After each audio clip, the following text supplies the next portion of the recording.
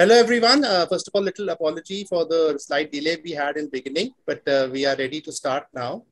Uh, it's my pleasure to invite you to this exclusive webinar on India-UAE trade and investment opportunities in agri and food processing being organized by the Trade Promotion Council of India in collaboration with the Consulate General of India, Dubai. This discussion aims to enlighten stakeholders on the recent trends and fast emerging opportunities for trade and investment and business collaboration specifically in food and beverage, food processing technology, and packaging technology segments between India and UAE. For this webinar, we are fortunate to have an esteemed panel with us representing the policy and business space from both countries. It gives me immense pleasure to introduce our panelists to you. Please join me in welcoming Dr. Aman Puri, Consul General of India, Dubai, Mr. Saleh Abdullah Lootah, Chairman, Food and Beverage Manufacturing Business Group, Dubai, Mr. Suresh Kumar, Chairman, Indian Business and Professional Council, Dubai, Mr. R. Senguttuvan, Chairman of Sectoral Committee on Food Processing and Packaging Technology, Trade Promotion Council of India. He's also former Chief Executive, Packaging and Printing Division, ITC Limited, and Managing Director, Wimco Limited. Mr. Sanjay Grover, Vice Chairman of Sectoral Committee on Food Processing and Packaging Technology, Trade Promotion Council of India, and Vice President, International Business Division, Kirloskar Pneumatic Company Limited. Mr. Abhishek Poddar, Vice Chairman, Food and Beverage Sectoral Committee, Trade Promotion Council of India, and Managing Director, Nan Nani Agro Foods. And Mr. Ashok Sethi, Director, Trade Promotion Council of India. The highly enthusiastic participation in this webinar aptly illustrates the growing importance and significance of India-UAE relations over the years these relations have in fact been built over at least a millennium of religious, cultural, and economic engagement, fueled by barter trade and people-to-people contacts over centuries. When we cut to the present, besides shared geopolitical outlooks, the UAE's vision for a diversified, knowledge-based 21st century economy finds strong compatibility with India's thrust to achieve its phenomenal and well-recognized economic potential. The past few years have seen intensified India-UAE engagement at all levels. When it comes to trade, UAE is India's third largest trading partner with bilateral trade of US dollar 59.1 billion in 2019-20, which declined to US dollar 43.3 billion in 2020-21, which we obviously know is an impact of the pandemic largely. UAE has more recently initiated attempts for a broader India Gulf Cooperation Council dialogue to revive the talks for our bilateral free trade agreement early this year, early analysis identified around 1,100 products, including washing machines, ACs, refrigerators, spices, tobacco, cotton fabrics, textiles, and leather that can see higher exports through an India GCC deal. In fact, talks for an India UAE bilateral FTA have already begun as per reports.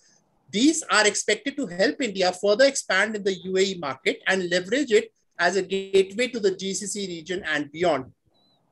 UAE is the eighth largest source of FDI inflows, equity inflows into India, which were recorded at US dollar 11.12 uh, between April 2000 and March 2021. Primary focus areas of investment are services, sea transport, power, construction activities, and infrastructure. Besides this, India has also invited further investments from the UAE in key sectors such as logistics, food parks, highways, ports, airports, renewable energy, and defense. Even as UAE is the fourth largest crude oil supplier, both countries are working together in renewable energy fora, prominently International Solar Alliance and International Renewable Energy Agency. Besides this, they are also collaborating to build a sustainable hydrogen economy. Of late, we are witnessing interest from the UAE and India startup ecosystem as well. PEVC funding from the Middle East and India, Indian startups surged phenomenally to US dollar 7.5 billion in 2020 from US dollar 1.8 billion in 2019, according to Venture Intelligence. As far as Indian presence in UAE is concerned, there are 4,365 Indian companies currencies and 4,862 trademarks registered in the UAE. And invert Indian FDI stock into the UAE amounted to US dollar 6.2 billion according to Ministry of Economy data. Most Indian companies have invested in real estate, wholesale and retail trade, transportation, logistics, construction, financial and insurance activities. Most importantly, India's diaspora in UAE is estimated at around 3.42 million, which accounts for around 30% of the latter's population. Coming to the topic of this webinar today, India's food exports to UAE were estimated at US dollar 1.89 billion in 2020 and imports were at US dollar 363 million. Last year, the two nations made a resolve to treble their bilateral trade volume in food and agri-tech sectors in the next five years. India wants to work very closely with the UAE as a reliable partner in food security. And the UAE-India food corridor is slated to attract investments of US dollar 7 billion from the UAE. This recent recognition of mutual complementarities in the F&B sector, which is thus far still a relatively unexplored area in the, between the two countries, make this webinar both relevant and topical for the industry in both countries. Now, I would, without wasting much time, like to move on to our esteemed panelists for their views on how they view uh, the F&B and food tech sectors vis-a-vis India-UAE trade and investment ties. To commence this discussion, it's my pleasure and honor to invite the Honorary Consul General of India, Dr. Aman Puri, for his initial address. Over to you, sir. Namaskar. Very good morning to all of you, uh, the distinguished panelists, all the participants. It's my real pleasure and privilege to join the Trade Promotion Council of India uh, in this very important webinar. Very topical. Recently, the Prime Minister of India has given this clarion, clarion call to increase India's exports we all realize, and many of the figures have recently been uh, just announced by Mr. Bari. So I won't go again into uh, the same. I would like to mention certain key points from my side. Apart from addressing the needs of the Indian diaspora here in the UAE, Indian agricultural exporters must highlight and understand the needs of the foreigners who are living here from over 200 nationalities. Dubai can be a gateway and a springboard for the companies for our products and services in this sector so that we can take our products and services global. In that, it is important to understand the current needs of the consumers here. We have to understand what kind of promotional activities are required so that we can reach out, we can explain the value of our products, we can diversify our product portfolio for those international consumers based in UAE and in GCC. For that, it is important to have a presence here to be able to appreciate the uh, value which people attribute to organic products, and in doing so, we can definitely increase our exports here in this region.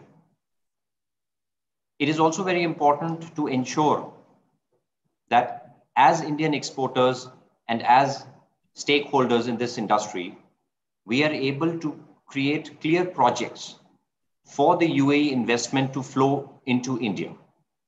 What is happening is that we've been talking about the need for facilitating the investment from UAE into India. But the feedback which we receive from the stakeholders here in UAE is that what they are looking for are clear investable projects. When we talk about the uh, food corridor, we understand that, of course, uh, the COVID 19 pandemic has had a major impact in the way we've been able to take forward those projects in the last 18 months or so. But now going forward, we must do our best to make sure that we realize this opportunity. There is that investable surplus. Both governments are committed, other stakeholders are committed. What is needed is clear investable projects to be identified in different parts of India, the irritants and the bottlenecks, the hurdles to be identified and addressed, both by the public and the private sector so that we are able to realize the true potential of this relationship. What is also very critical is that we don't look at UAE just as a market of 10 million consumers. We look at it as a springboard for the entire MENA region. As most of you are aware, that Dubai would soon be hosting the Expo 2020, which is slated as the biggest event to be hosted in this part of the world. In the last 170 years history of the expos, it is the first time that the expo is being hosted in the MEASA region, which is the Middle East, Africa, and South Asia region. I take pride in mentioning that we are expecting for the first time in the 170 years history of the expos that Indian nationals will be the single largest group of visitors at this expo.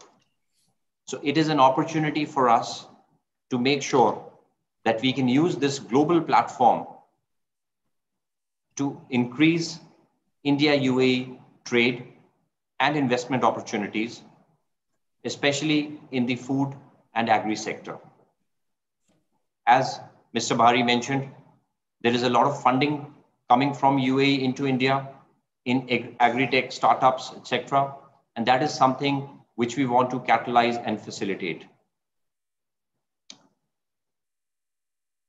We are all aware how India has become a very fertile ground for the emergence of unicorns globally. The next six to eight months are going to be very critical as India would be seeing the emergence of several unicorns in various sectors and including some in, in these sectors. So this is an opportunity to enable investment to go into these startups, which can actually address the global food challenges, the challenges of growing food in arid conditions like the Middle East, etc. And this is one thing where we must work hard to make sure that we can showcase the best of our startups at this global platform. And that is something which we need to identify the best startups in this sector, pan India, and to bring them here at this global platform. That will enable them to connect with other stakeholders, with their counterparts from different countries, and also to be able to connect with the sovereign wealth funds, PE funds, the venture capital funds, and the other family holding companies based in the UAE. This is also an opportunity for various export promotion councils of India to be present here during the six months and to take the engagement further and deeper with all stakeholders here in the UAE and globally. As you know, 190 plus countries will be participating at this Expo 2020. What we've been informed is that over 50 world leaders at the heads of state, heads of government level have already confirmed their presence in the six month event. Of course, more confirmations are likely to happen in the due course of time. So I would really emphasize for the sector to make use of this opportunity for supporting economic revival in both countries and globally. This is perhaps going to be that one event which will clearly be a harbinger for economic recovery in a post COVID 19 world order. Of course, we heard about our traditional relationship, our civilizational and cultural ties, which go back various millennia. But this is an opportunity to take the relationship to the next level. And we truly believe that India UAE relationship, especially in this, uh, in the food and agricultural sector, is at an inflection point and we must work hard to realize the true potential. Thank you so much.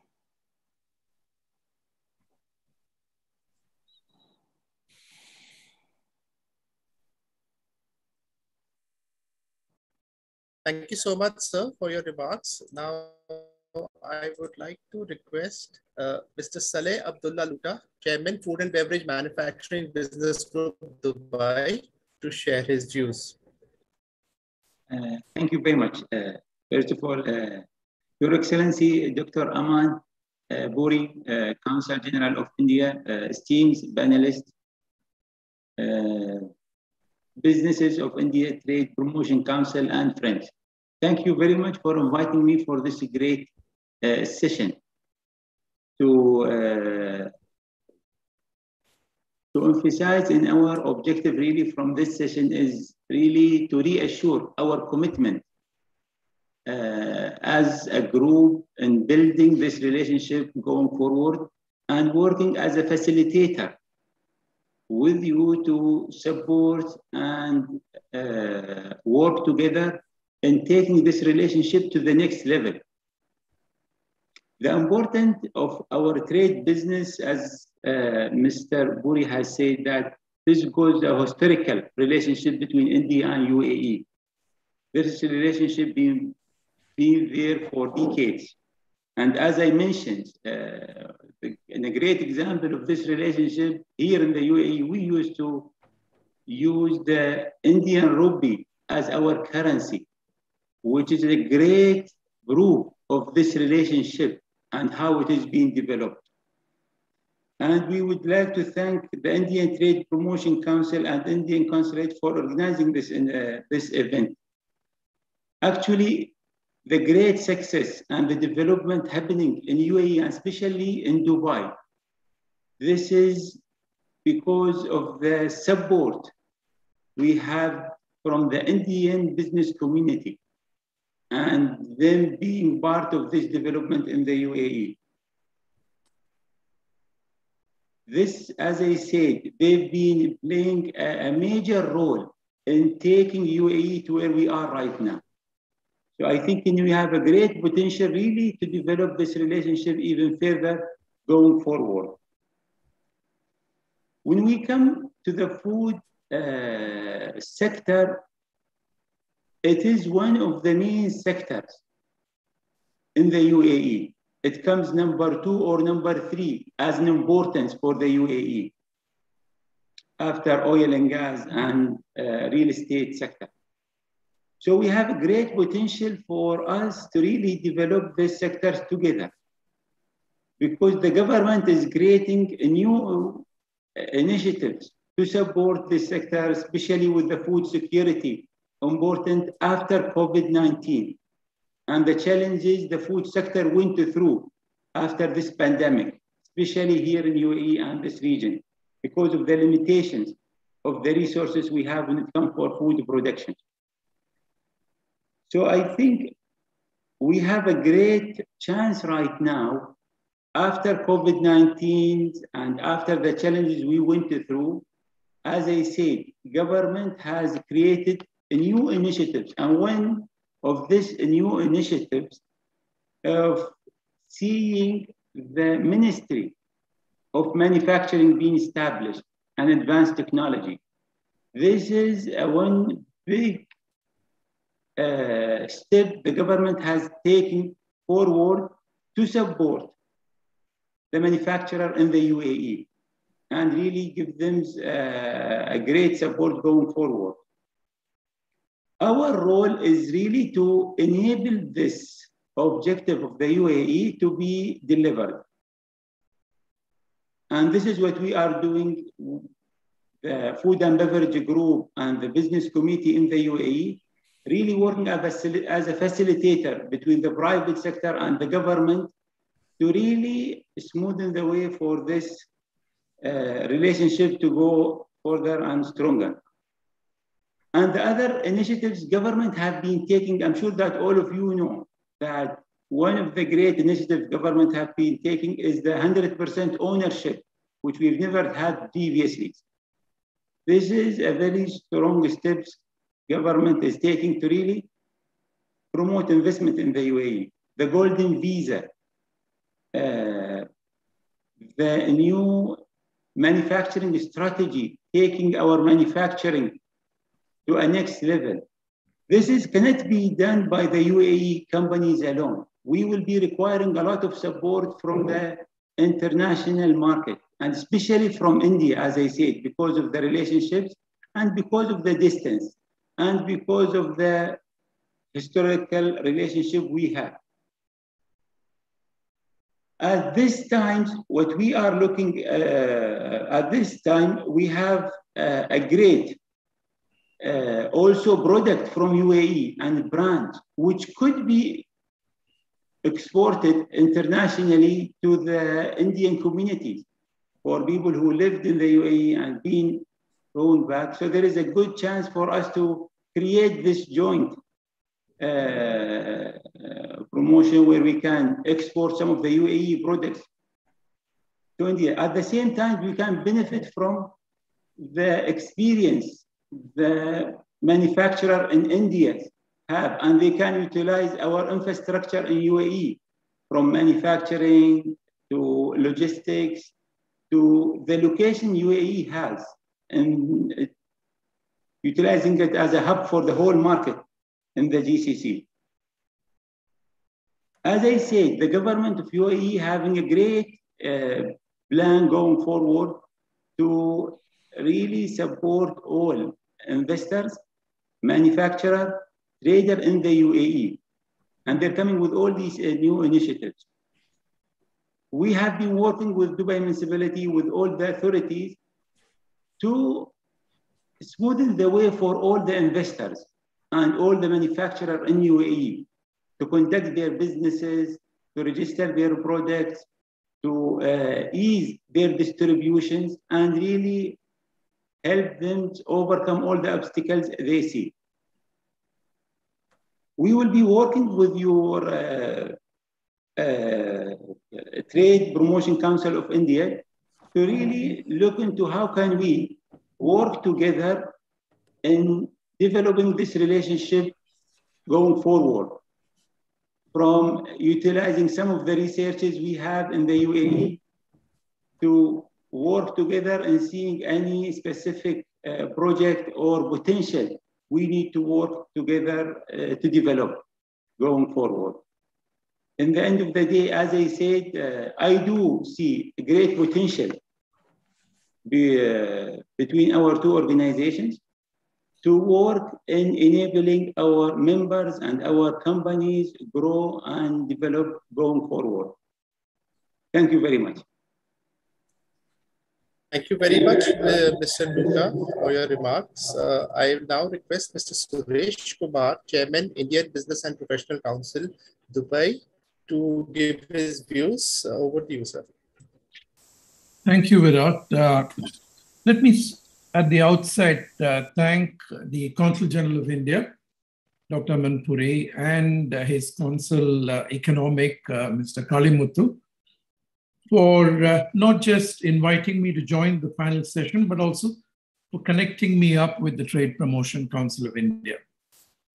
Uh, and I was, I must compliment the Trade Promotion Council of India for promptly uh, and proactively suggesting that uh, we enter into an MOU that is between the Indian Business and Professional Council and uh, TPCI I certainly welcome this. I think uh, uh, such an MOU uh, affirms and you know creates a framework in which we can pursue this further. But uh, I also say that MOUs are good, but not good enough until we achieve uh, actions and outcomes that are measurable, tangible on the ground, and uh, and actually have a follow-up action almost uh, every year, if not uh, you know more frequently.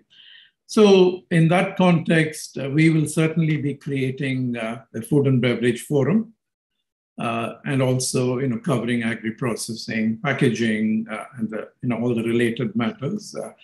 and we will bring in the who's who in that sector uh, into that forum, and I hope uh, we can work with uh, TPCI to take it forward and achieve those tangible outcomes. So I certainly welcome this uh, MOU initiative.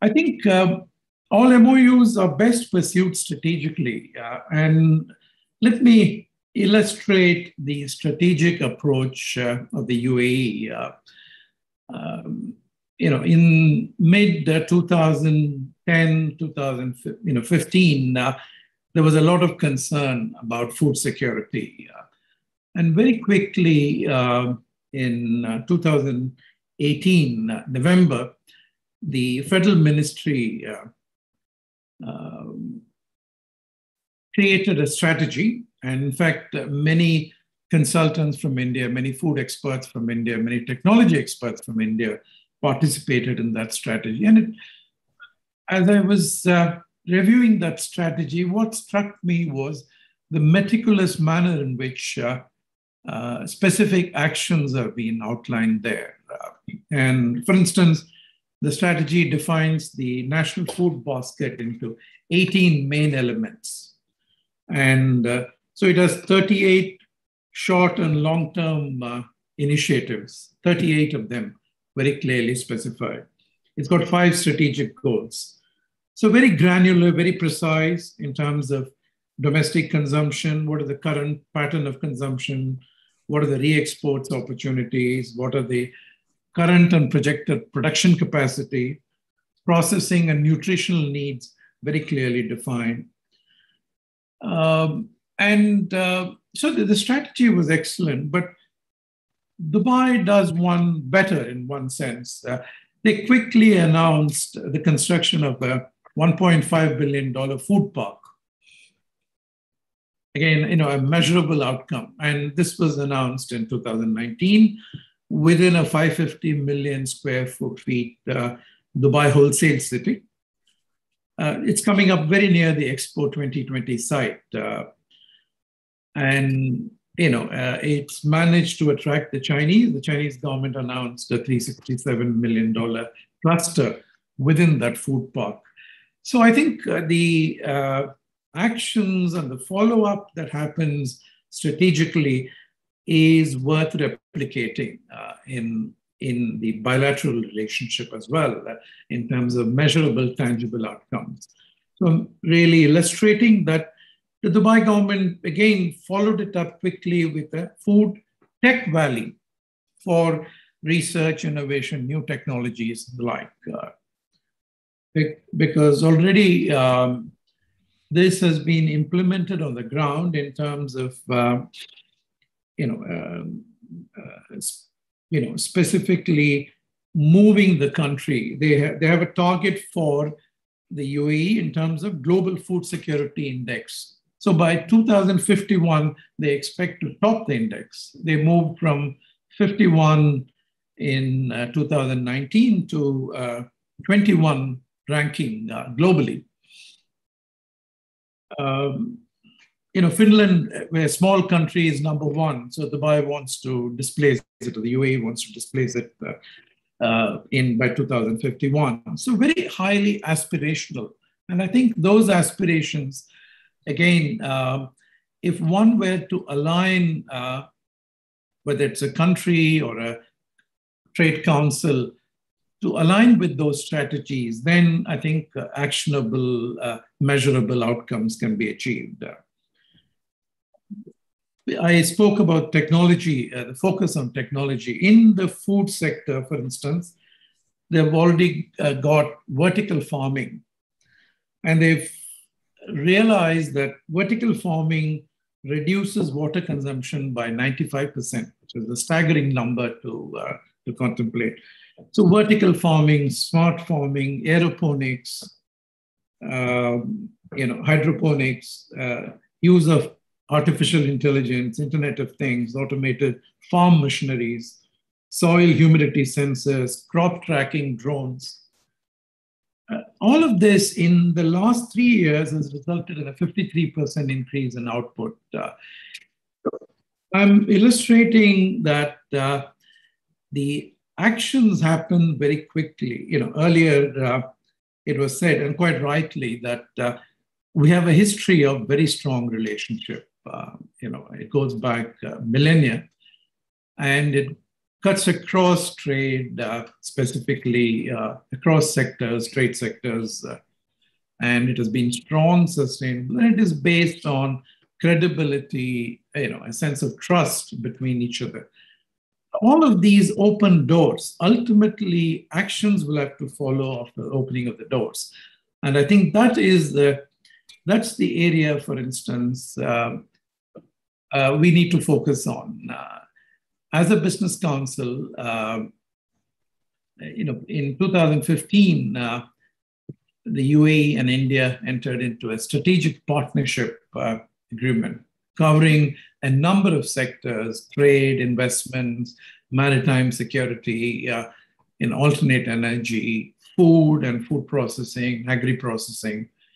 Uh, so, a number of sectors were identified. Uh, um, so, there is need to have a strategy for India UAE trade and investment relationship, a strategy as meticulously crafted, as the, you know, much in detail with specific initiatives that can achieve uh, the announcement that was made in 2015 of a $75 billion FDI into India, up to $75 billion of FDI into India. I mean, we are doing well in terms of FDI from the UAE, FDI from around the world. India is, uh, you know, had a phenomenal growth in that segment of foreign direct investments into India, but we can do better and more. Uh, and I think the food sector is right. The agri processing sector, the F&B sector are right. Uh, DP World, for instance, uh, in the UAE, uh,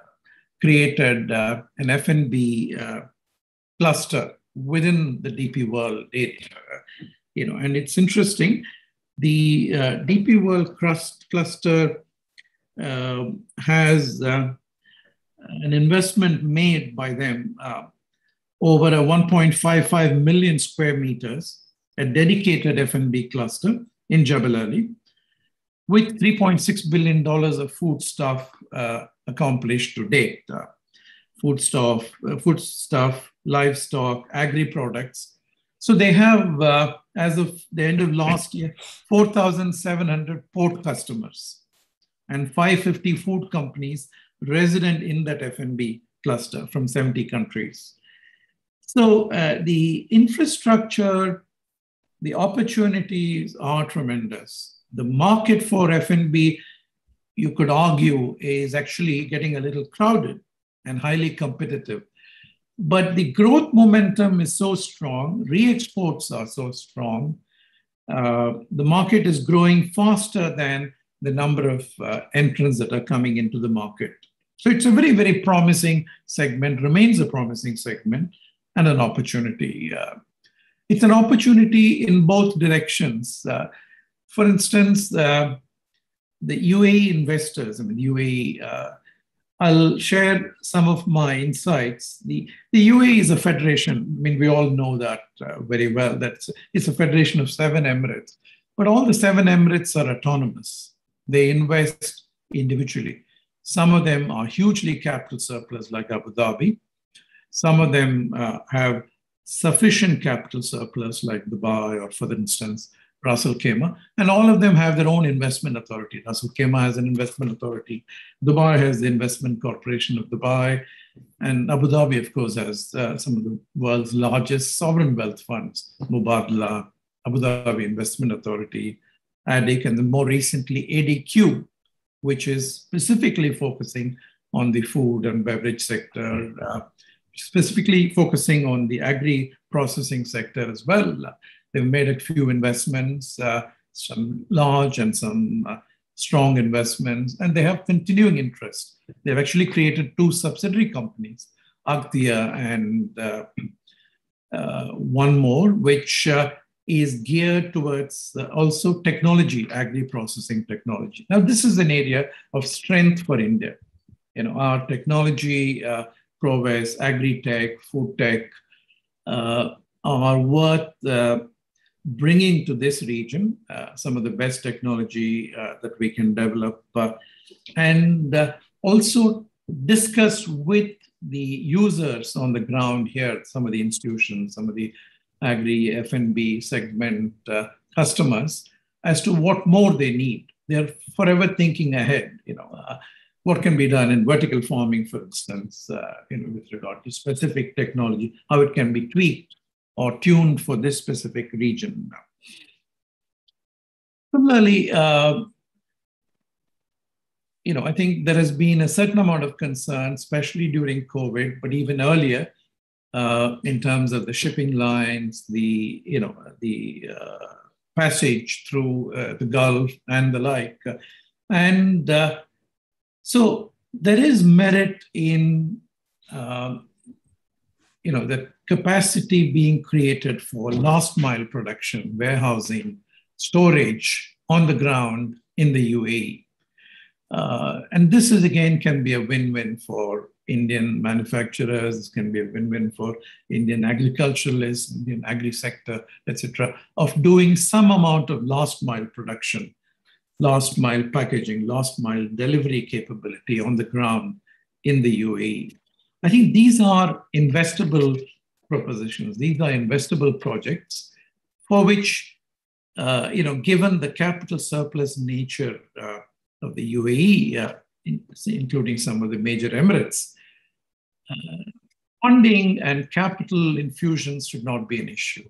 You know, His Excellency spoke earlier about uh, you know investable projects that the UAE authorities are looking for, that the UAE companies are looking for, the UAE investors are looking for, and I think uh, a way by which it can be thought of out of the box, so it can be a win-win for both geographies, is the way to approach it. Uh, and I think um, the uh, interesting um, dynamic here is that the UAE uh, at the federal level prepares the policies, strategies. Uh, and the UAE federal budget is actually quite small. The UAE federal budget is US dollar 15 billion because it's a relatively small economy and small uh, country. But RDI itself and you know has about 800 uh, dollars. And if you add up all the sovereign wealth funds, you've got something close to uh, 1.2 trillion.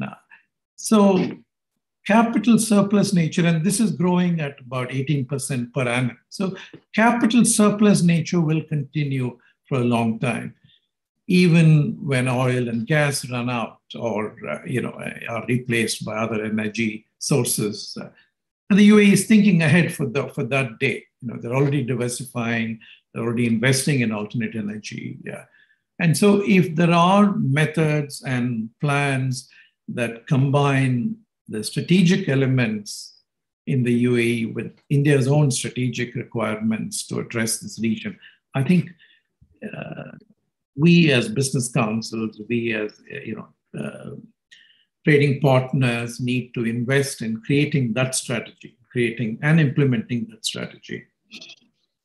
As uh, you know, uh, HSBC famously said, uh, "Think global but act local," and I think uh, there is a compelling case for that here. Uh, um, I would finally, uh, therefore, conclude by saying that this strategy preparation is one, you know, and that can be constantly uh, and dynamically revised. Uh, a strategy and a blueprint uh, for trade and investment flows, specifically in the F&B sector, and would be happy uh, to work with the TPCI in that respect. Thank you very much. Thank you, sir. You speak uh, from a wealth of experience and knowledge, as we can see. And uh, we indeed at TPCI also look forward to collaborating with you. Uh, I would now like to request uh, Mr. R. Senguttuvan, Chairman of Sectoral Committee on Food Processing and Packaging Technology, Trade Promotion Council of India, and former Chief Executive, Packaging and Printing Division ITC Limited and MD, Wimco Limited, to give us his insights on the packaging industry and its scope between the two nations.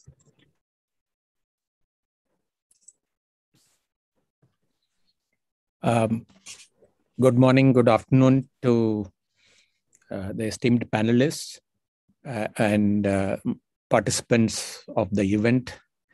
Uh, first of all, my compliments to Trade Promotion Council of India in organizing a very a lively session on collaboration and trade between India and UAE.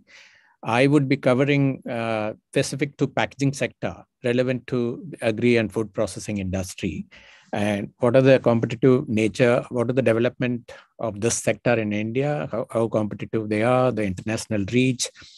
And what uh, uh, the developments have taken place in this sector between india and uae and what are the future opportunities?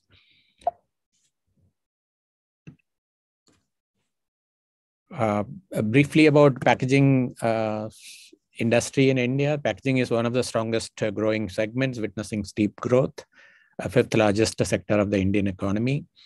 Packaging industry expected to grow from 50 billion roughly to 205 billion US dollar by 2025, registering a CAGR growth of uh, 26.7 annually. Food processing is the largest consumer of packaging at uh, 45% of the total packaging consumed, followed by pharmaceuticals 25% and personal care 10% increasing demand from the above end use segments, uh, creating huge potential for packaging demand. Uh, during the pandemic, the demand for packaging for grocery, healthcare, and other e-commerce transportation has increased exponentially. Flexible packaging is the rapidly developing segment of the industry. Properties of film, paper, and aluminum foil provide range of protective characteristics that are required. Uh, for enhancing the shelf life for the food industry, food packaging industry. Uh, key players in India, uh, the well-developed, uh, it, it's in, packaging is a well-developed industry in India with uh, several multinationals and domestic companies well established. Uh, with dedicated in-house R&D facilities, pursuing research-based based innovation focused on consumer benefits and delight, healthy competition between local and international players to deliver innovative and sustainable products. Indian packaging industry has a global reach, has emerged as a market leader for uh, FIBC and uh, BOPP films. Indian packaging industry exports materials components, uh, several material components which are used in the packaging industry. Industry employs several state-of-the-art technology thus raising the bar for Indian packaging industry. China used to be the largest and still is the largest exporter of packaging material globally. The pandemic driven isolation of China has forced the packaging companies to revisit their supply chain vulnerabilities, thus accelerating the sourcing to other countries, and India being the major beneficiary of the same. The factors prompt, uh, prompting this shift are the lower cost of manufacture uh, manufacturing in India compared to European subcontinent, uh, availability of skilled labor, potential in the segments like processing, foods, hard and soft drinks, fruits, and marine products for exports. Food processing is a sunrise uh, sector in India. India's food ecosystem offers huge opportunities for investments uh, because of the growing growth led by food retail sector, favorable economic policies and attractive fiscal incentives. The food and groceries market in India is the sixth largest in the world, constitutes 65% of the total retail market in India. Uh, government policies are very supportive for food industry. Sanctioned 41 food parks across the country, 22 of them are operational as we speak today. According to Ministry of Food Processing Industry, by 2025, India's food processing industry is estimated at half a trillion dollars, from the current $160 million, registering a growth of 21% CAGR. By 2030, Indian annual household consumption is expected to triple, making India fifth largest consumer. Booming in food processing segment represents growth opportunity, huge growth opportunity for Indian packaging industry. Key strengths for the Indian food processing and packaging industry are uh, agri-commodity hubs, large, largest producer of several agro-commodities, uh, huge consuming base, consumer base, uh, fifth largest economy and one of the fastest growing economy in the world. Uh, conducive proactive policies and attractive fiscal incentives and PLI scheme and uh, Atmanirbhar Bharat. India and UAE business relations and packaging connect. India, I mean, se several of these uh, statistics have been spoken by Mr. Bari. So I will skip them.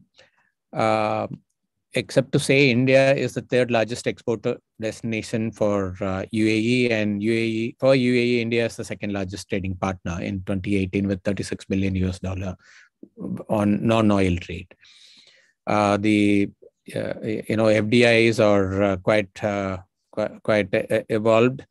UAE invests about 1300 14 13 to 14 billion US dollar in India and Indian investments in UAE are 85 billion US dollar and uh, there are several companies in, in, in UAE already established and well-connected logistics. Uh, the Indian packaging sector has already invested in UAE. Some of the companies well represented there are Uflex, Srinath, FlexiPack, Amber Packaging, and Positive Packaging.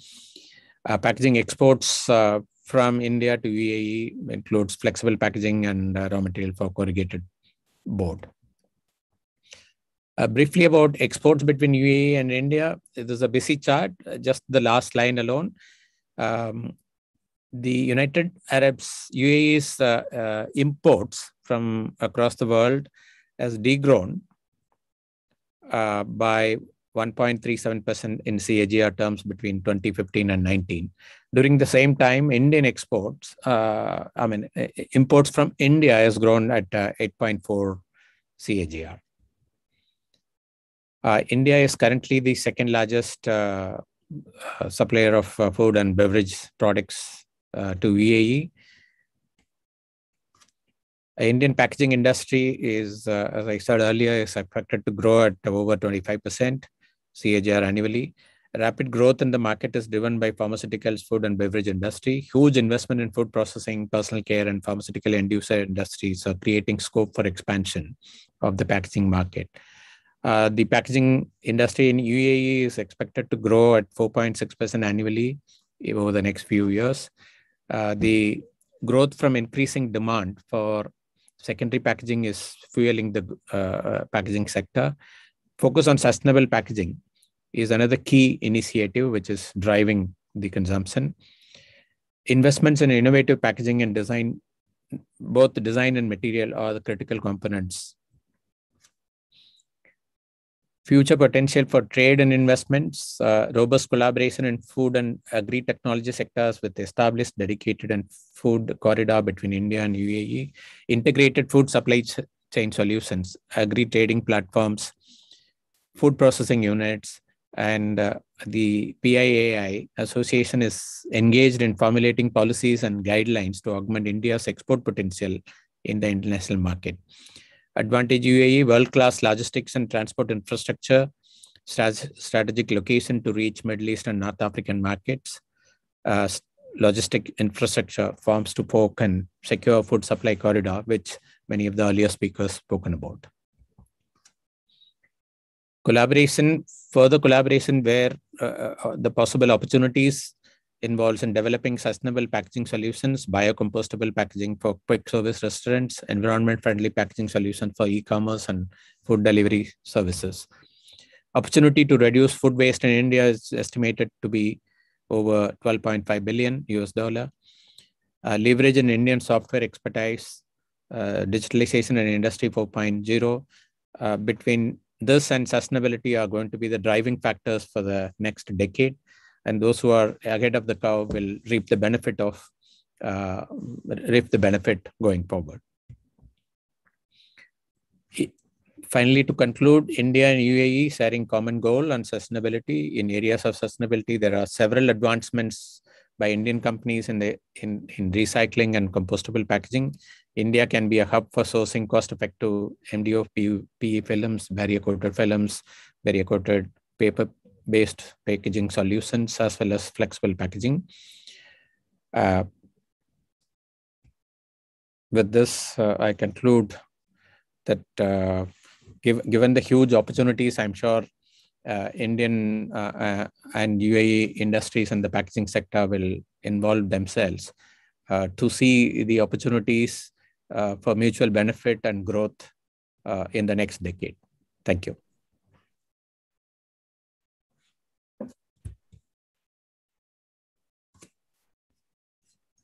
So can you uh, close the presentation, please? Yes. Right. Thank you. Thank you so much, sir, for your insights on the packaging sector. I'm sure industry will find them useful to understand the potential and how to explore it. Uh, I will now invite um, Mr. Sanjay Grover, Vice Chairman of Sectoral Committee on Food Processing and Packaging Technology, Trade Promotion Council of India, and Vice President, International Business Division, Kirloskar Pneumatic Company Limited, to talk about the food technology segment and its uh, potential between India and UAE. Uh, thank you, Mr. Virat. Uh, Honorable Excellency, uh, my esteemed panelist here, and uh, uh, interesting audience sitting across. first of all, good afternoon to you who are sitting in India, and good morning to you who are sitting in Dubai or the, the part of UAE. so, uh, first of all, at the outset, as uh, you know, uh, I think TPCI deserves a big compliment uh, for organizing this uh, uh, wonderful program on food. Especially, I won't use the word food security, but I'll say food as a whole, because especially during the the pandemic time, the last 18 months or so, we have seen you know the real importance of food for the living being. Forget about human being. So so really, it has you know uh, give us a deep insights for all of us as individuals, uh, you know, irrespective of who we are, where we are, what we are. But the food becomes uh, the most critical part of our, you know, thinking and part of our life. Of course, we all know this. Uh, coming back to uh, the, the discussions today, uh, I believe I would, you know, I come from an industrial background, I corporate background, so I touch base the industrial perspective in this issue. Uh, before I do that, uh, I would like to split my discussion into uh, you know three important uh, sections. Uh, one being you know uh, what is the India story today? let's because audience on the other side of the border should get some feel you know what we are today. Second is you know between India and UAE, what is the the the food vision or the food security vision we call as you know we share that common vision, and of course third is on the on the India and UAE, uh, the food and agri-business opportunities in terms of you know industry perspective. Uh, so to start with, the you know uh, what India is today and what India is uh, about uh, on this side of the you know the food part. Uh, as we all know, you know India has a large arable land and we have a huge resources of agriculture development, and we also be one of the largest producer of milk in the world. You know, for the people for the knowledge, I believe uh, we handle almost around 18 million kg of milk per day, which is phenomenal. And uh, you know, we also know that we are one of the largest, second largest producers of fruits and vegetables in the world. We are also one of the third largest producers of grains and fish, and uh, we are also having one of the largest, uh, you know, uh, resources of the livestock. Uh, we talk about it, and and we know India is, is a big country. India has a huge amount of resources, so there are a lot of natural resources here. We have a huge talent of labor, huge, uh, you know, I'll say setup in terms of uh, food processing factories or food processing units.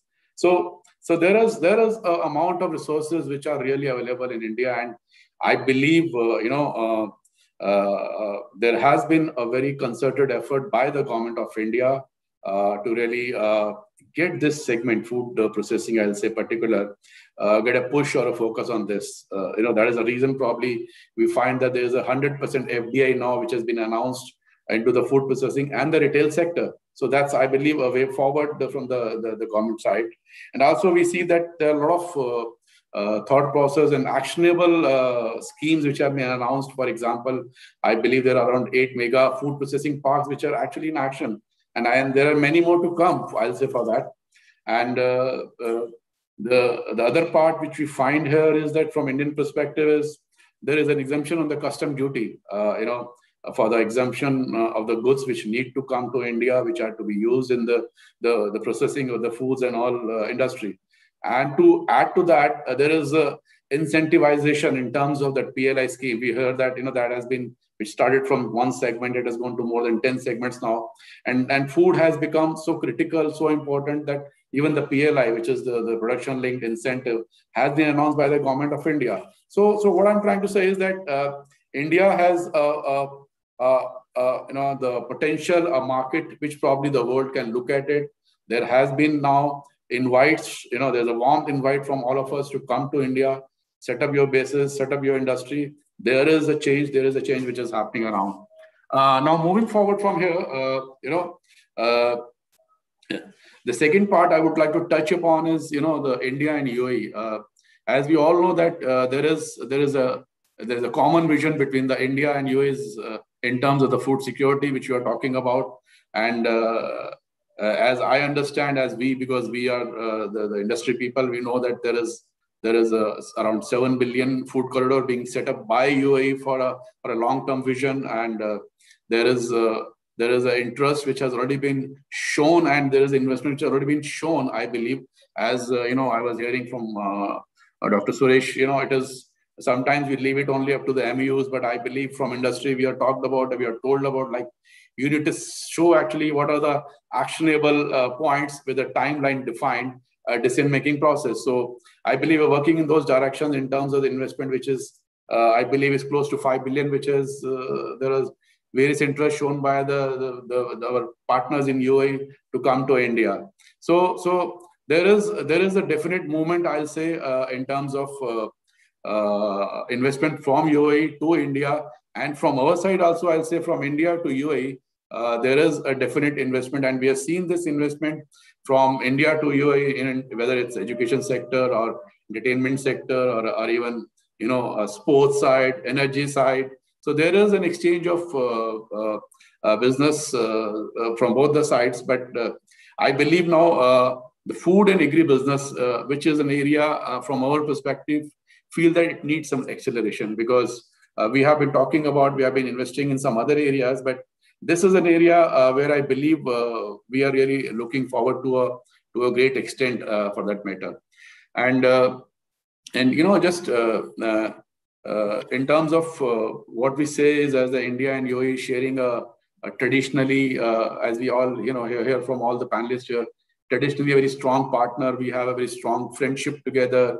There is a people to people engagement. There is a whether it's a cinema or entertainment or you know, sports or whatever, you know, that brings a the good bond together. But I believe time for us now, as uh, the excellency said, it's inflection point now. We really need to look at now for the conversions because there have been good talks, there have been good, uh, but I believe the critical part remains is the speed with which the decisions are being taken.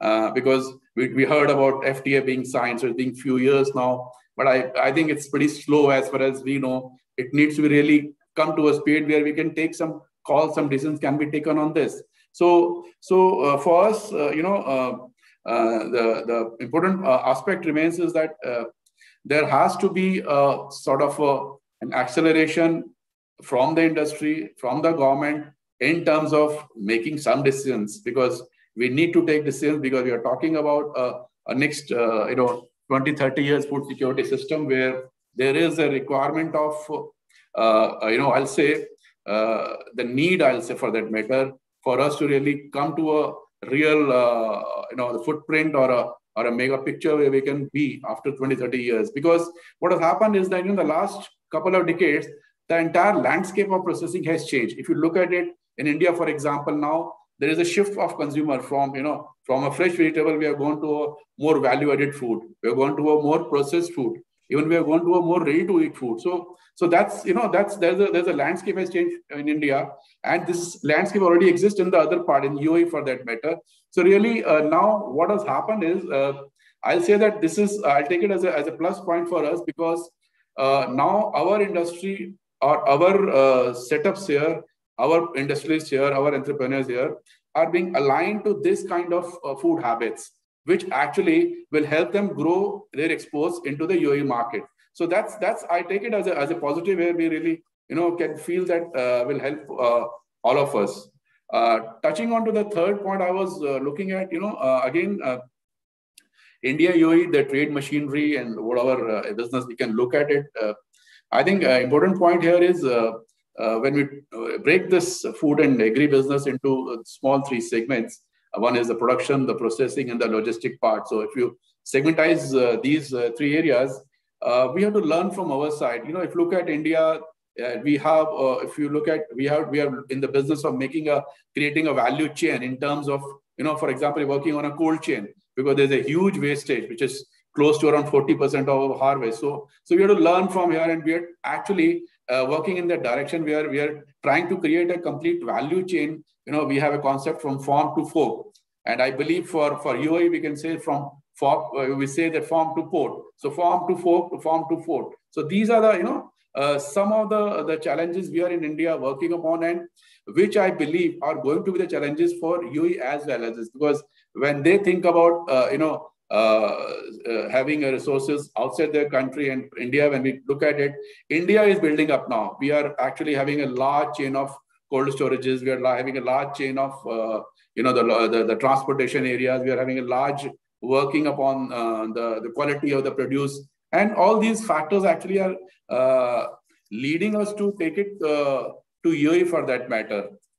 you know, my, my belief is that there is a huge amount of uh, business which is already happening between uh, India and UAE in terms of some certain specific machinery. For example, uh, we have a lot of supplies of uh, air compressors, the refrigeration uh, plants over there, the boilers, the centrifuges for milk, and a lot of other, uh, you know, like items like spoons and forks. All these things are there, but there's still, a, an area which probably we as industry can look at into UAE for export from India, just to align with the vision of that 500 billion what Prime Minister spoke about. And similarly, we can invite our uh, friends from the other side to come to India because we are coming up, we are growing, we are evolving. So there is an opportunity from both the sides really come upon it. And before I actually, uh, you know, uh, uh conclude, I would say that, you know, uh, the right combination along with the suitable enablers, which we say that be it a technology, be it incentives or a tariff or labor, etc. We have to create those uh, you know, resources or a recipe for uh, for this sector to sustain a, a, success you know in the years go to go ahead. And the last point, but the least, uh, I would like to touch is that you know we have heard about this uh, digitization. I think uh, we have to really be uh, equipped with that. We industry are actually getting geared up for that. Time is going to come when the refrigerator is going to tell the, the butter factory, okay, get the butter, my butter is exhausted.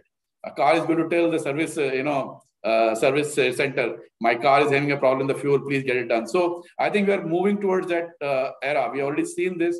So digitization is going to be the key uh, for the future. So let's let's look at that. So so just to conclude and uh, say once again, I think we need we need the speed with which the decisions being, being being taken, and we need to really look at the technology as one of the the key thing to be in. Thank you very much.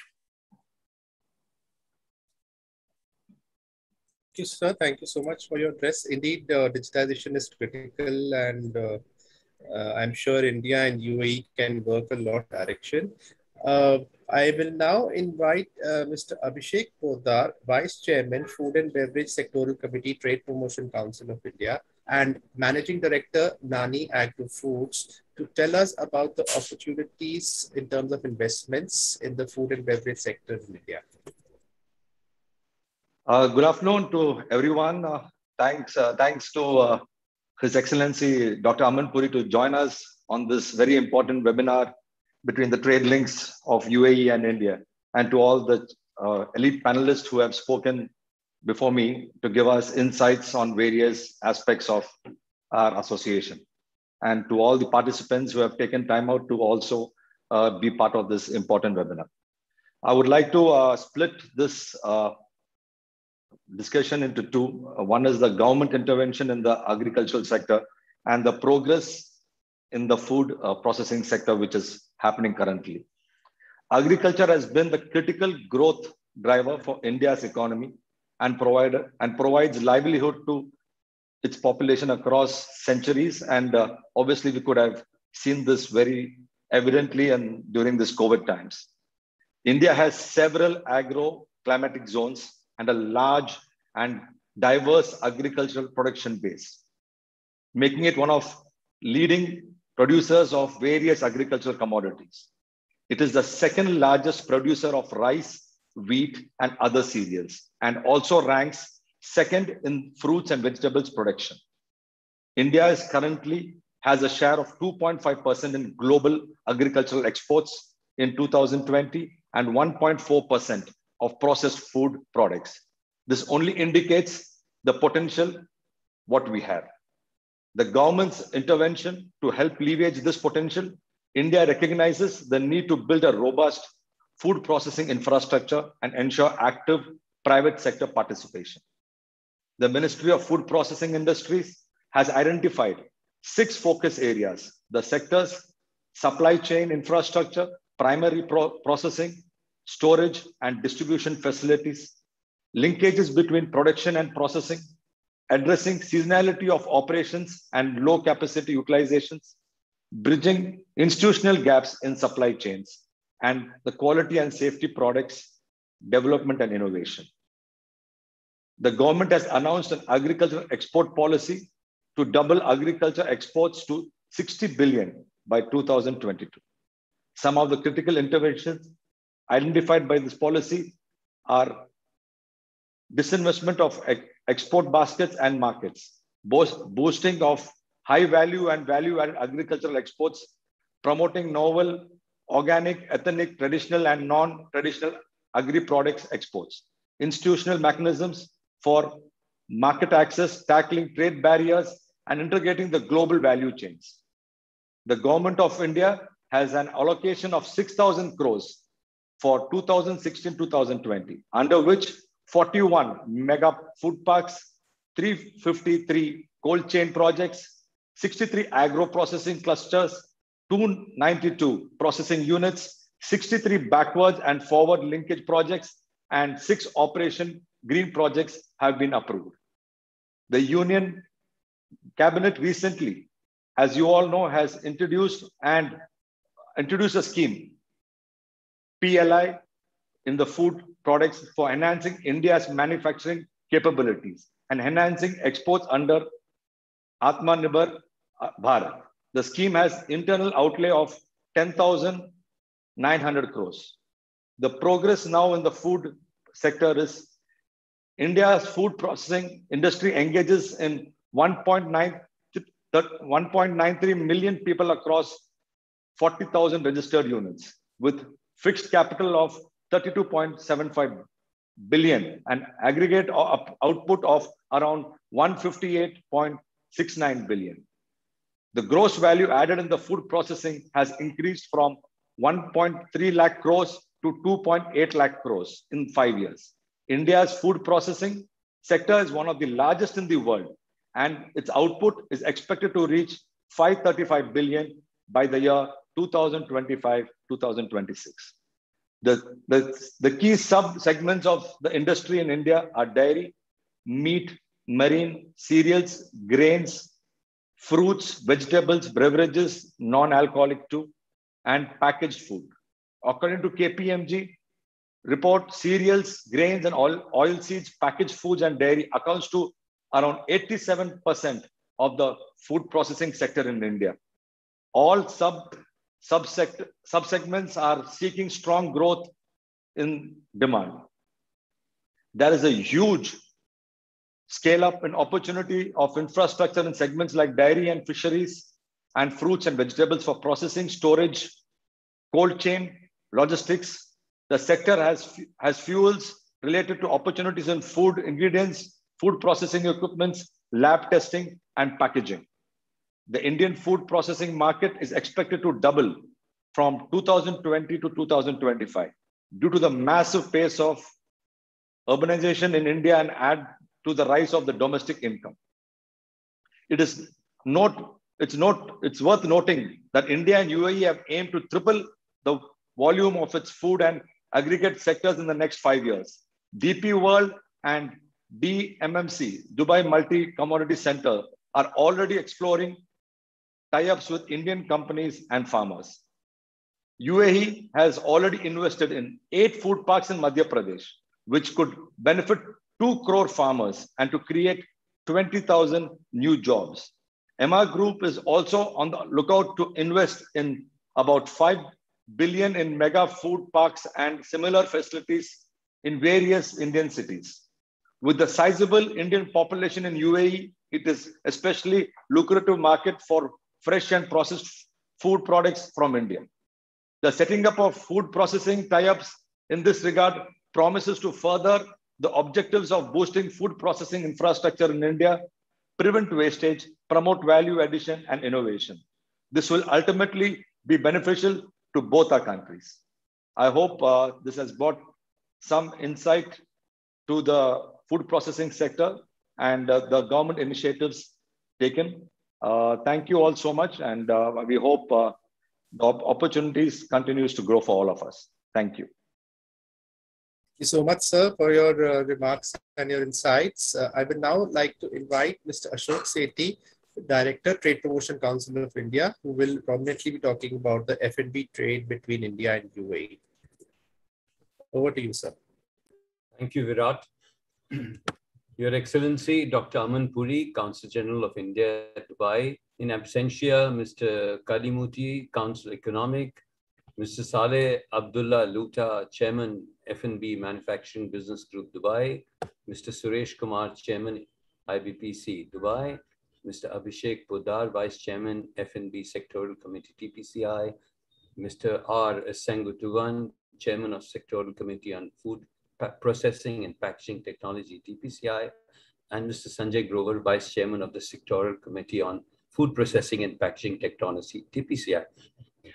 Today, I shall be presenting a snapshot on India, UAE bilateral trade investments, and a brief look at the strengths and opportunities of as of present status.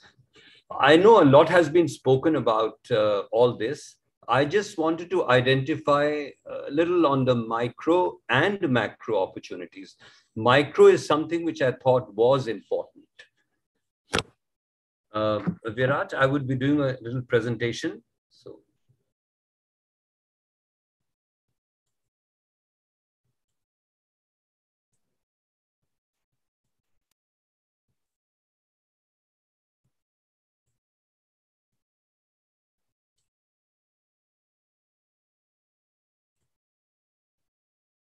Is this okay, Virat? Virat? Yes, sir. This is fine. Is this okay? Yes. Right. Uh, gentlemen, um, I know that TPCI is uh, known across amongst all the panelists right now today, except maybe for uh, a little insight for uh, His Excellency, Dr. Aman Puri and Mr. Suresh Kumar and Mr. Lootah. Uh, it's that uh, TPCI actually is an apex trade and investment promotion organization. It is notified in the Foreign Trade Policy Government of India. It is also recognized and supported by the Ministry of Commerce and Industries, Ministry of SMA, MSME, Ministry of External Affairs, and several state governments. We have around 2,500 active industry members from F&B, food processing technology, chemical and allied products, ceramics, IT, telecom infrastructure, and service sectors. Uh, just to tell you that we have very good sectorial committees and uh, very happy to note that a couple of the team leaders of these sectorial committees already participating today. Uh, so we have a TPCI Special Sectorial Committee for Trade and Investment Promotion in Food and Beverage Sector, i.e. that is sectoral committee on FNB, on FNB packaging technology. Then we have sep separate sectors for chemical and allied products, ceramic products, and service, including tourism. Few top players in respective sectorial committees, again, part of our panelists is uh, Nani Agri-Foods, uh, Capital Ventures, then you have Hamdard Britannia in the Food and Beverage Sectoral Committee. We have in the Technology Technology Sectoral Committee, ITC, again present today, Kirloskar again present today, and uh, UFlex, amongst others. We have in the Chemical and Allied Products Sectoral Committee, we have Tanya, GFL, Asian Paints, uh, Unitop, etc. Then we have in the Ceramic Sectorial Committee, AGL, Varmora, SEG, these are all big names. The objective was to uh, let you know that we have a very strong group supporting our objectives. Would like to mention to you that we have a very interesting uh, subjects to take care of today. And uh, one of them being that what exactly is the snapshot, snapshot status between India and UAE? Now, let us uh, talk about the overall picture, the total snapshot. We've talked about these numbers. However, what I would like to point out here is that if you look at the exports to the UAE, uh, between 2019 and 2018, there was a slight increase, but in 2020, for obvious reasons of pandemic, it dropped by 39%. The India's imports from UAE again rose in 2019 by 12%, but dropped by 21% due to pandemic. Pandemic, and however, the overall trade again dropped to around 30% in 2020, which shows that here is the now the trend forward that we must again raise the flag and go ahead and achieve these numbers which we are looking at.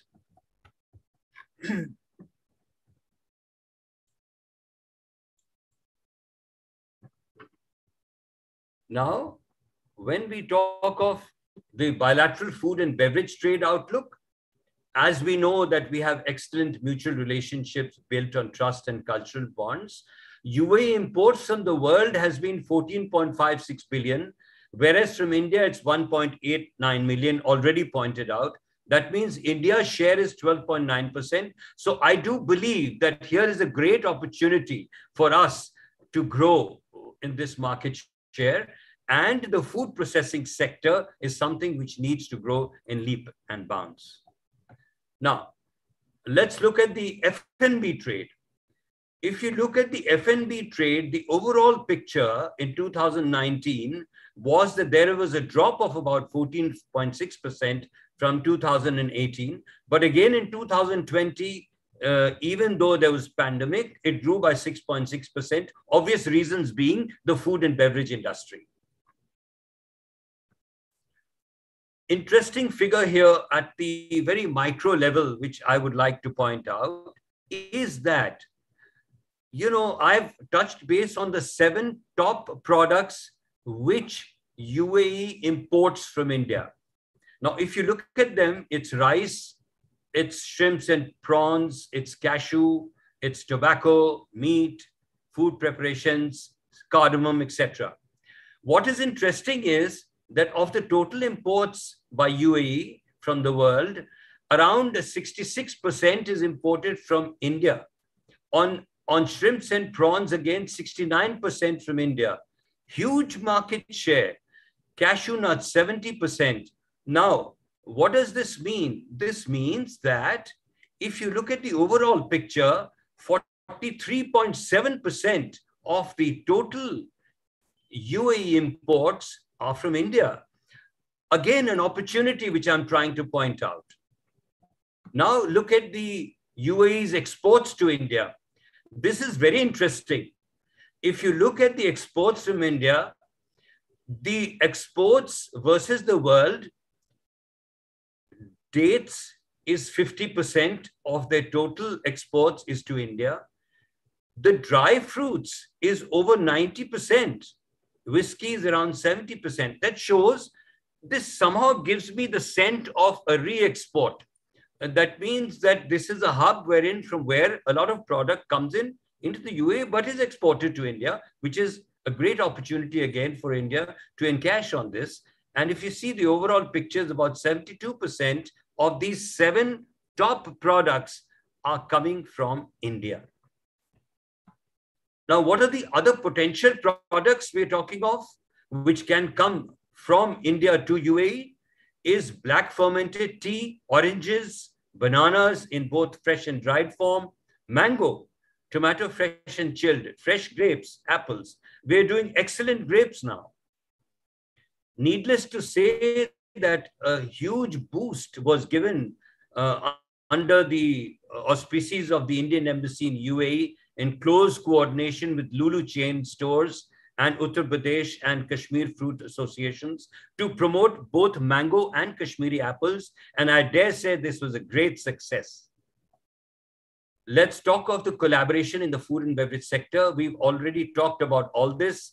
Yes, uh, food and beverage is by far one of the most important manufacturing sectors in UAE. We should look at this very seriously. We are and as very rightly pointed out, it is good to have understandings, but we must try to implement.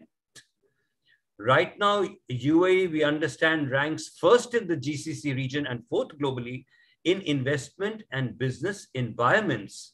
And what are the key market drivers in UAE? It's the higher disposable income, growing demand in food services, wherein 60% of US population enjoys to eat out at malls and eateries, backed by very high levels of hygiene.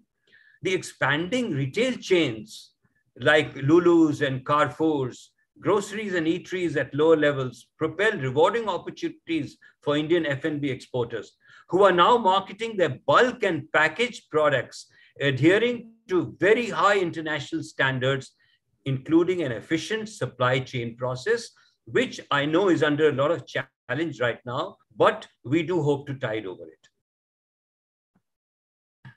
We've talked about, again, this topic of a huge potential investment in India through the UAE food corridor. Yes, as mentioned, uh, uh, uh, large organizations have, have been talking about around 5 billion in mega food parks and 2 billion in contract farming. If this happens, it would be a giant step ahead. And I do hope it happens because in India, it gives us an opportunity to to generate around 200,000 jobs and benefit about 20 million farmers. So let's go fast forward on this, as very rightly pointed out. Uh, to note that 30% of India's agri produce goes waste for lack of appropriate infrastructure for storage, processing, and transportation. and I'm sure with the pandemic scenario easing, all this will take uh, a positive step ahead. Just to mention that, you know, as um, uh, TPCI, we organize something called the Indus Food. It's an annual global event organized by TPCI every year. And in March 2019, we had a, a very strong delegation led by Mr. Khalifa Ahmad Ali. this was basically a food security team which visited the Indus Food, wherein we have a global interaction of about 400 uh, very good exporters of Indian food and beverage industry and interfacing with over 1,000 hosted buyers from over 70 countries. And this particular delegation even met the uh, minister at that time for food processing, and a very good interaction happened wherein opportunities of investing in food parks and uh, in food security was talked about. Here I'd like to mention that rice is a very important factor wherein we should talk about this. India grows basmati rice in a very big way. We have right now opportunities for basmati rice, which is the staple diet when it comes to rice in UAE, very well accepted. And there can be a great opportunities of storing them for food security, either in India or in UAE in silos you know that rice has a very long shelf life. Very interesting to mention, Mr. Suresh Kumar already touched base on this MOU, which uh, TPCI and IBPC are talking of signing off. I think this is huge synergy. And I do believe, as very rightly mentioned by him, we should delve into it very seriously and make sure that things happen at the ground level which would benefit the bilateral trade and investment opportunities between the two countries.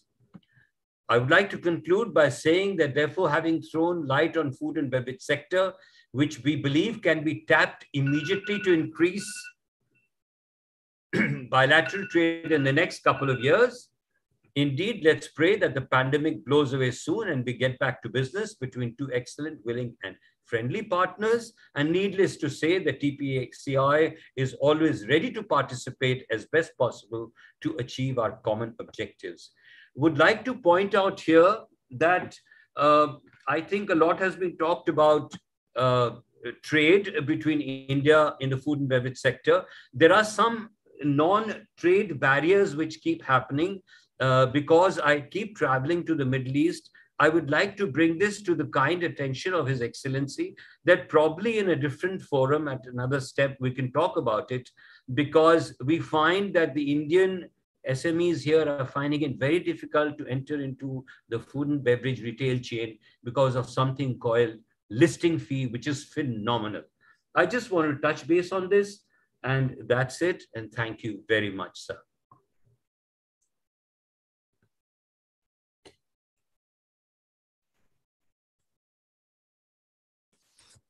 Right. Thank you so much, Sethi sir, and thank you all for your uh, remarks during this very interactive and interesting session, which definitely brings in uh, very important views and perspectives on how to, uh, you know, translate the intent and potential of FNB food uh, technology and food packaging, uh, you know, potential into action. I have some uh, questions uh, from our audiences for the esteemed panelists. Uh, first of all, I would like to come to Dr. Aman Puri, sir, this Honorable CGI, Dubai. Uh, sir, you have uh, very kindly, in fact, responded to quite a few questions in the chat itself. But I was intrigued by the potential which you talked about that the mainstream population presents for India's F&B segment uh, because this is something which we also you know consider and uh, deliberate on in other markets that india should be looking at the mainstream population rather than just its own diaspora. And could you please elaborate further? Because uae seems to be a market where indian companies can tap this potential and possibly even build strong f&b brands in, in a, a, market which is very highly discerning and in a way it could reflect some of the advanced markets of the world where we actually want to reach so, uh, what is your what would you like to advise Indian companies in terms of you know addressing this potential? Thank you so much. Uh, yes, uh, like we mentioned that some of the Indian companies they could use Dubai as a testing ground, as somewhere they could try and reach out to the discerning consumer from different parts of the world, and because here we were getting uh, foodstuff and beverages imported from various parts of the world. So obviously we are getting it imported from Britain, from US, from many other parts of the world, different European economies. So it is actually a place where you have to compete with the best. What we have realized is that some of the Indian companies, their products are good, but their marketing and their packaging is very poor. So that is where they can actually, you know, uh, spend more effort understand the requirement of the consumer here and try to fill that gap. Then, of course, coming uh, and spending time and effort and energy in an economy becomes very important to understand the needs of the consumer and try to address whatever is required. Thank you so much, sir, for that uh, very important guidance from your end. Uh, Mr. Suresh Kumar, uh, UAE has a very strong NRI committee accounting for, uh, sorry, community accounting for over 30% of its population. How do you view this role of this community in India's growing F&B trade and investment between two countries? And you know, what has it, uh, how has it contributed so far, and how do you see this contribution going forward?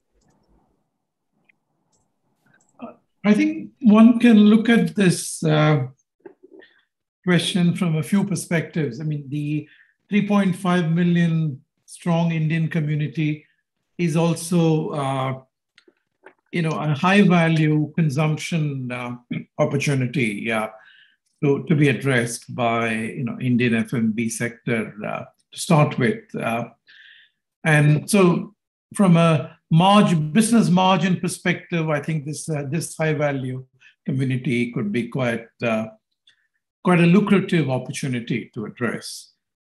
Secondly, uh, many of the community members, especially some of the senior elders, have been here long enough. I've had very close personal relationship with the leadership here.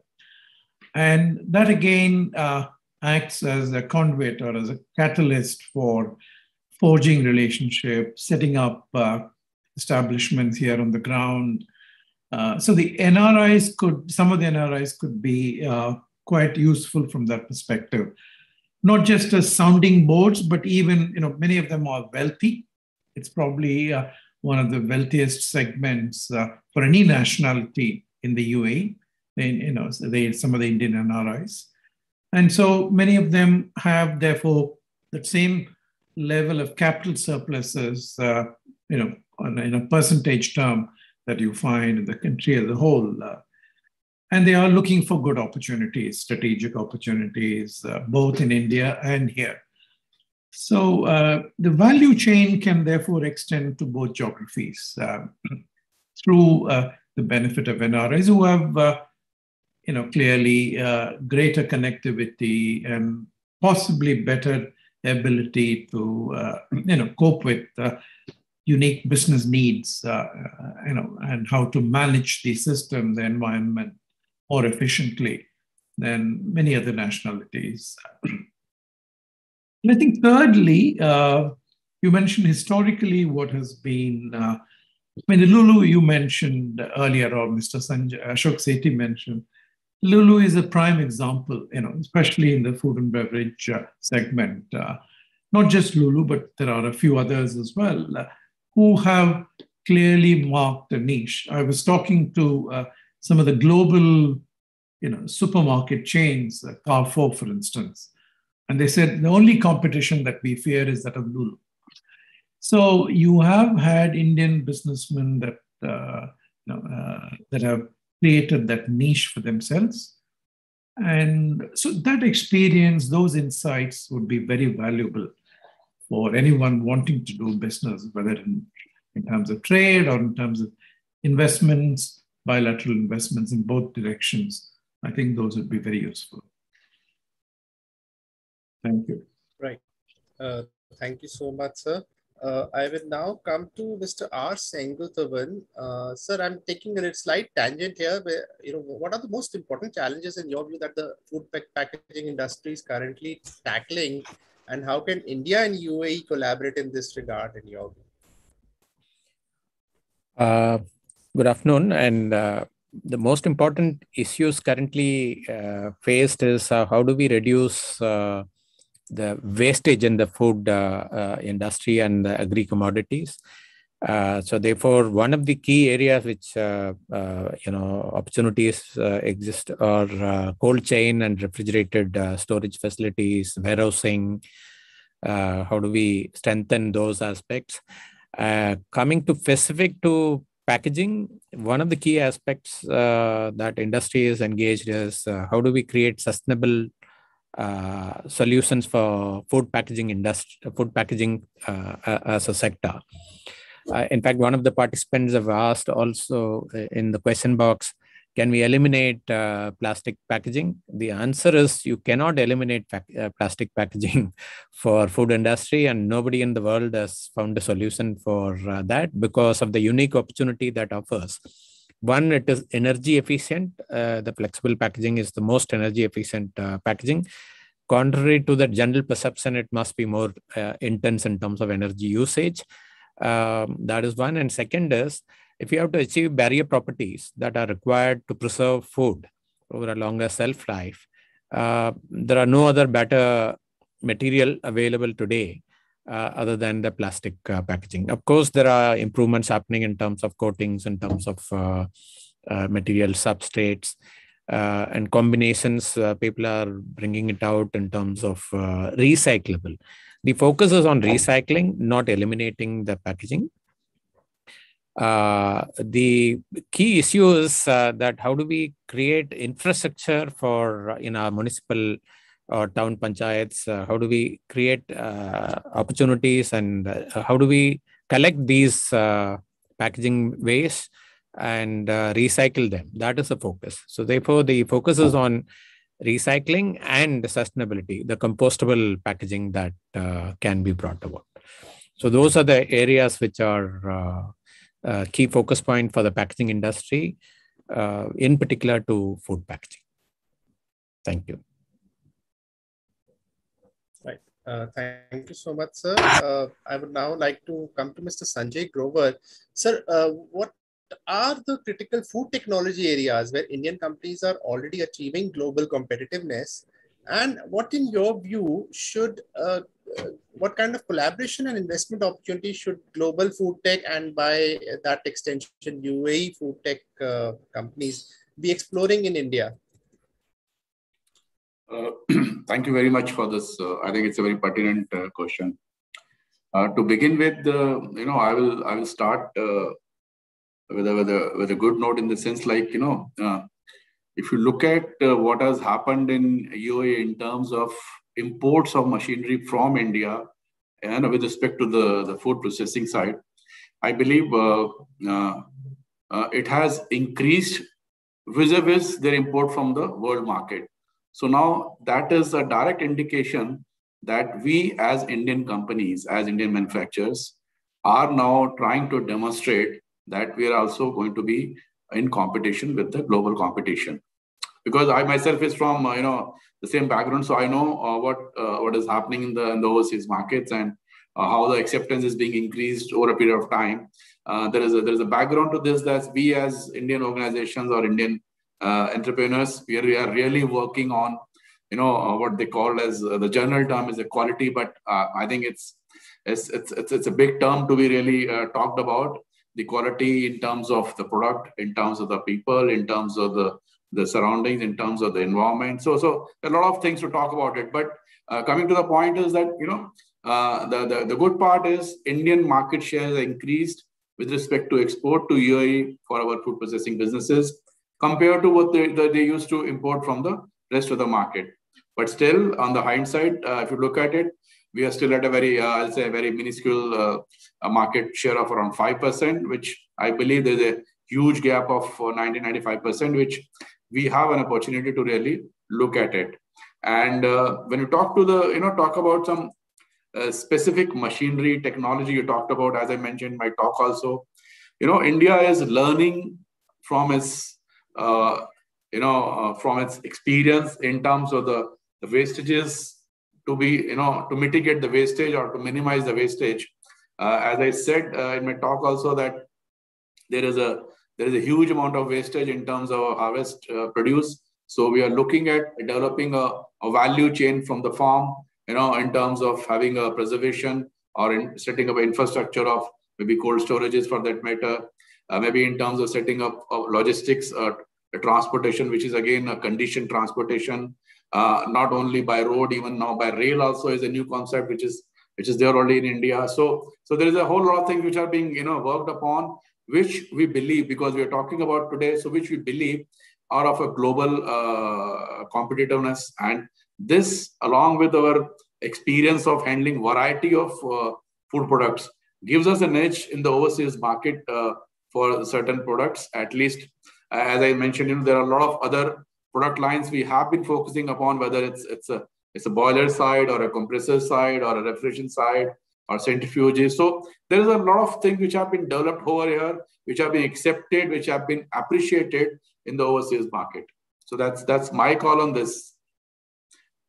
Thank you. Thank you so much, sir, for your views. Uh, I will now come to uh, Mr. Abhishek Poddar. Uh, sir, as uh, we see Indian companies are uh, rightly, as mentioned and discussed, developing their food processing capabilities, how do you expect this sector to contribute to exports in the coming years? And I mean, how, how, how is it performing already? Also, you can give us insight on that. And which segments look most promising under this broad ambit of processed food products? Good afternoon to all once again. Indian exports of agricultural, horticulture products and processed foods to more than 100 countries, regions with major exports to Middle East, Southeast Asia, SAARC countries, the European Union, and the United States of America. Presently, India shares a high value and a value added agriculture produce within the export basket stands at less than 15%. However, India has a strategic geographic location, which gives it unique advantage when it comes to exports. The country has convenient connectivity to Europe, Middle East, Africa, West Coast, Japan, Singapore, Thailand, Malaysia, Korea, Australia, New Zealand, and the Eastern Coast. Indian ex exports of processed food to the world in 2020 were recorded at 12.65 billion surging from 11.48 billion in 2019. Its growth rate of exports for processed food at 8.3 remains significantly higher than world's average growth rate of 0.65% for the past three years and will still only touching the tip of the iceberg. Major subsegments with promising prospects of exports to the world is ready to eat packaged food, organic foods, infant food product, prepared baby foods, processed dairy products, processed fish and marine products, alcoholic beverages, snacks, and confectionery. We also see the need to consume healthier food has emerged during the period of the pandemic. There is growing market with the tendency to consume foodstuffs with the reduced salt, calories, and sugar content. This could be beneficial for exports of fruits and vegetables, green tea, spices, Ayurvedic supplements in the coming years to come. Of course, we have to work very hard on some critical areas to scale up our international footprints as India aspires to do so. These include testing and certification of infrastructure, signing of FTAs with key partners, safety and hygienic norms, investing in digitalized supply chains, smart warehousing and logistics, cold storage capacities, and other advanced food processing technologies.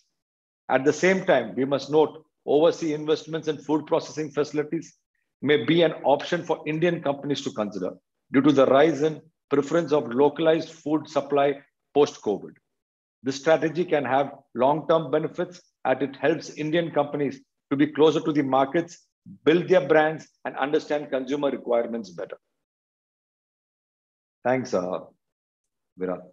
Uh, thank you so much, sir. Uh, and uh, do we have any other remarks from the panelists as just as we are about to close? Uh, anything anybody would like to share? Okay, uh, so with this, we would now like to conclude this very interesting, engaging, and informative webinar. I sincerely thank all the panelists for taking the time out and sharing these wonderful views with us. And uh, we will uh, look forward to taking these up in our uh, discussions, deliberations, and our efforts to enhance India's bilateral trade and investment with the UAE. Uh, thank you all to the attendees also for making this a very engaging webinar and sharing their questions and insights. And with uh, everybody's permission, therefore, I bring this session to a close. Thank you so much once again. Thank, Thank you. you. Thank, Thank you. you.